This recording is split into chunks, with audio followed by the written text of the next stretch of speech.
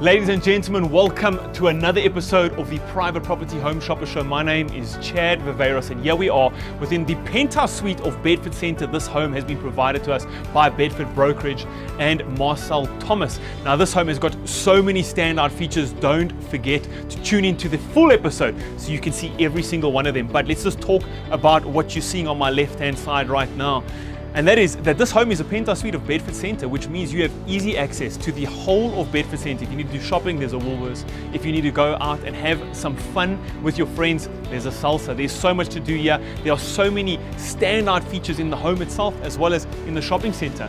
And that leaves only one more thing for me to say, and that is welcome home.